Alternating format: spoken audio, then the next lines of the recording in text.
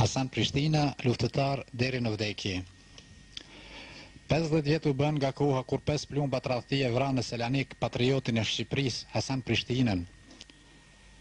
Pabesia e armiqve që u përvodh dekadave si hije vrastare kërkoi të merrte zemrat e e më trimave, më të urtëve e më sokolave.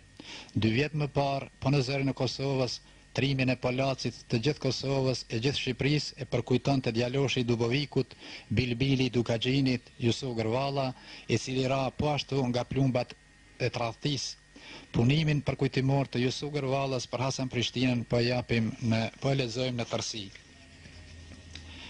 Gjithë jeta e këtij patrioti është lidhur ngushtë me luftrat e popullit shqiptar për liri, pavarësi e demokraci. Ai u lind në Vuçitrn në vitin një mijë e tetëqind e shtatëdhjetë e tre në një familje patrioti. Mësimet e para i kreu në qytetin e lindjes e studimet e larta në Fakultetin e Drejtësisë në Stamboll. Që kur ishte nxënës dhe më vonë si student, ai u bë një propagandist i shquar në popullin dhe rininë e Kosovës, duke zgjuar te ata ndërgjegjen kombëtare dhe ngulte këmbë t'i jepej më tepër liri vendit. Më vonë, veprimtaria e tij vjen e rritet. Si deputet i Prishtinës në parlamentin turk më një mijë e nëntëqind e tetë një mijë e nëntëqind e dymbëdhjetë, përkrah Ismail Qemalit, ai u bë mbrojtës i flaktë i të drejtave të kombit shqiptar kundër sundimit të egër osman.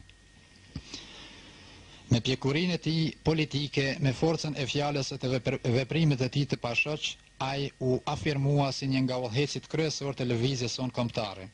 Hasan Prishtina, deputet e kryengritës, ishte nga të parët që demaskoi demagogjinë e xhonturqve pa u frikësuar nga egërsia e tyre.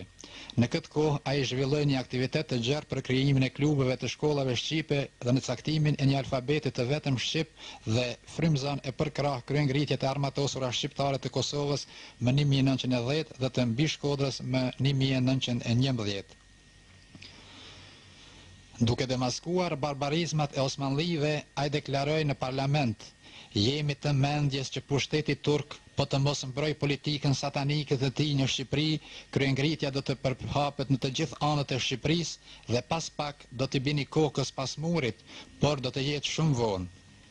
Dhe u largua nga parlamenti në shenjë proteste. Zhvillimi i ngjarjeve çoi në organizimin e kryengritjes së përgjithshme të armatosur në të gjithë Shqipërinë në vitin një mijë e nëntëqind e dymbëdhjetë. Bashkë me Ismail Qemalin e patriotë të tjerë, Hasan Prishtina është një nga udhëheqësit kryesorë të saj.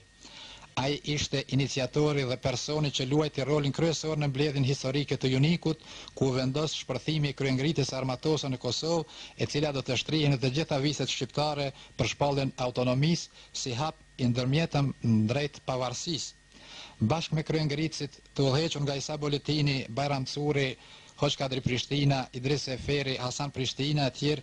Hasan Prishtina hyri triumfalisht në Shkup, i cili ishte qendra e vilajetit të Kosovës, por, Pa u ftohur grykët e pushkëve, filloi lufta ballkanike dhe shovinistët sërbo-malazezë u derdhën nëpër Kosovë, duke shprehur sheshazi qëllimet e tyre aneksionuese. Në këtë situatë kritike, Hasan Prishtina u vu në ballë të qëndresës për të mbrojtur trojet shqiptare në Kosovë nga pushtuesit e rinj sërbë e malazezë. Pas shumë peripetish, ai shkoi në Vlorë për të vazhduar luftën për çështjen kombëtare. Qeveria e Vlorës e caktoi ministër të bujqësisë. Hasan Prishtina nuk i njohu vendimet e Konferencës së Londrës që i lejoi monarkisë serbe të aneksojë Kosovën heroike duke ndarë më dysh Shqipërinë, luftoi kundër tyre dhe nuk u pajtua kurrë me këtë padrejtësi të madhe historike që iu bë kombit shqiptar.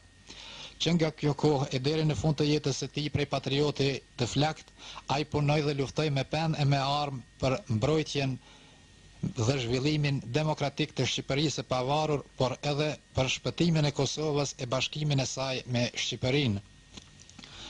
Në Vlorë, në Durrës, në Kosovë, në Vjenë, në Romë, në Paris e gjetkë më një mijë e nëntëqind e trembëdhjetë, katërmbëdhjetë, tetëmbëdhjetë, nëntëmbëdhjetë e njëzet, si diplomat në kanceleritë e huaja dhe si luftëtar në malet e Kosovës, ai i shkriu të gjitha energjitë e aftësitë e tij për çështjen shqiptare. Edhe kur Konferenca e Paqes në Paris i vë në fuqi vendimet e Konferencës së Londrës të vitit trembëdhjetë, Hasan Prishtina nuk u step nga lufta e tij. Me energji të shumëfishuara, në muajt e parë të vitit njëzet e një ai ishte në Evropë dhe përpiqej të çonte zërin për mbrojtjen e Kosovës në Lidhjet e Kombeve dhe të bashkërendiste luftën e tij me Luftën Çlirimtare të popujve të tjerë të Ballkanit që luftonin kundër shovinistëve serbë. Në prill të vitit një mijë e nëntëqind e njëzet e një, kur u hap parlamenti i parë shqiptar, Hasan Prishtina u zgjodh deputet i Dibrës.